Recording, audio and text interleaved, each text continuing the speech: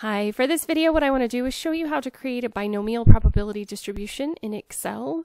Uh, if you use Excel, this is a very quick process because it will instantly give you the answers. If you have to do the hand calculations with the formulas, this can be a very time-consuming process.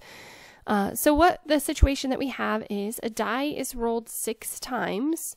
Let x represent the number of times a five is rolled. So basically we've rolled the die six times and we're counting how many fives that we get we can get at least or at the least zero. So it's possible to not get any of the six rolls to be a five. We could have one, two, three, four, five, or at most we could have all six of them. So a binomial probability distribution will list all of the possible outcomes as well as the probability of that happening.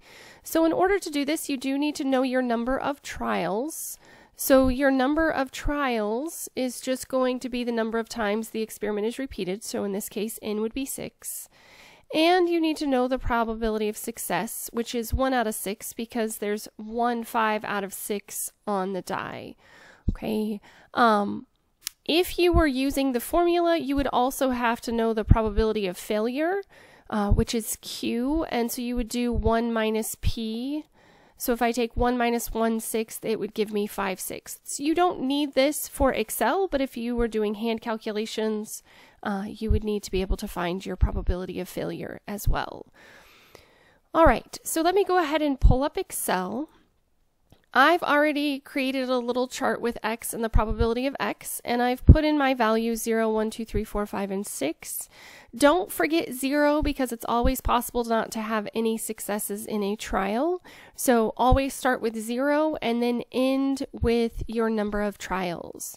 So with this, what you're going to do is you're going to start typing equals, and you'll just start typing binom, and you're going to do the binom distribution.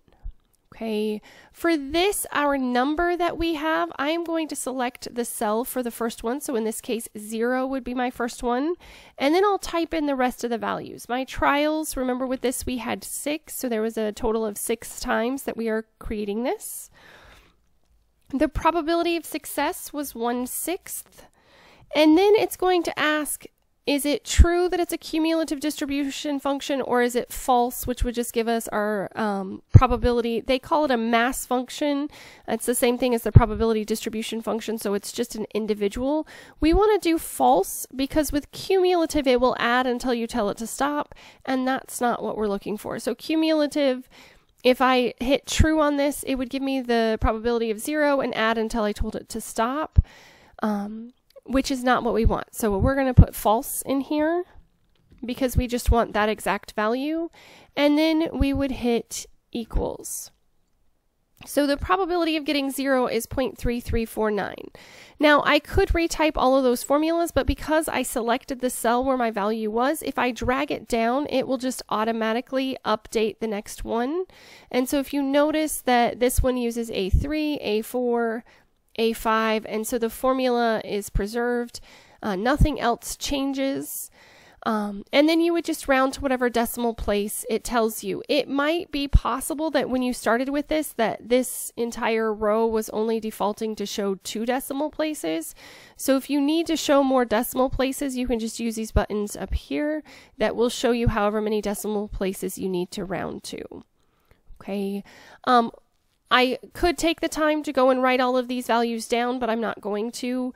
Um, I would just put in all of these values for my probabilities on either my paper if I'm submitting it by hand or type it into whatever online homework platform I'm using. Okay, if you do need to create a histogram and want to see what it looks like, you can highlight the data and then you can go to charts and I'm just going to go in and do all charts and I want to select the column chart and I want this one where it's not clustering the two. So I want this value. Um, it's best in a histogram that you have all of the cells touching and then you do want to put your axis axis title for each of them. Um, so for the horizontal, this would be the number of times a 5 was rolled.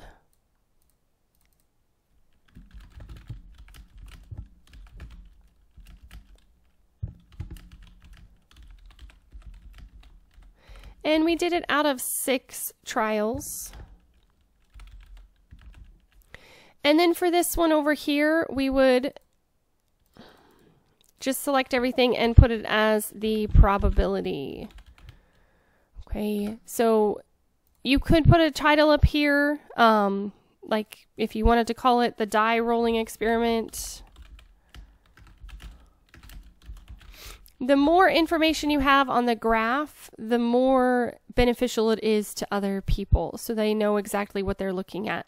Okay, um, if when you highlighted this, the quick analysis tool did not show up, you can just go to insert and your charts. This one, you can go to just more statistical charts and get to the same thing. So if that quick analysis tool doesn't show up, you can still create a um, histogram of your data uh, by going to insert and charts. As always, thanks for watching. If you have any questions, please let me know. If there are additional topics you need me to cover, please let me know that as well.